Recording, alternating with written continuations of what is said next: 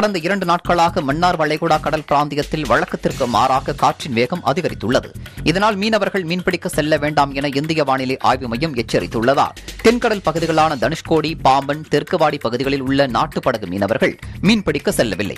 இந்நிலையில் தனுஷ்கோடி மற்றும் பாம்பன் கடலில் கொந்தளிப்பு ஏற்பட்டது. இதனால் தனுஷ்கோடி அருகே அமைந்துள்ள முகுந்தராயர் சத்திரம் மீன் இறங்கு தள பாலம் மீது ராட்சத அலைகள் மோதுவதால் கடல் அலைகள் ஆறு அடி முதல் ஒன்பது அடி உயரத்திற்கு எழுந்து வருகிறது.